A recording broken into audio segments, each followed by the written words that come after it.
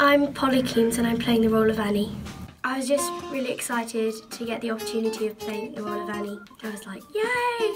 So we've just about finished the show. We're just going to do a run through today and, um, and I feel really confident about it. It's going really well. I like doing like all the numbers and the singing element of it and working as a group to kind of create the whole piece and see it form together. If you're thinking to come to Starmaker, it's an amazing experience. I would really recommend it. You make new friends and you also just have a really good time in general.